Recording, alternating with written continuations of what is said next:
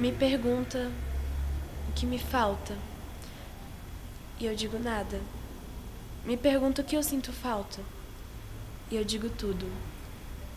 Angústia, tristeza, um vazio dentro de mim. Nesse chão frio, lágrimas escorrem. Mas rapidamente me vem. Somos como amantes.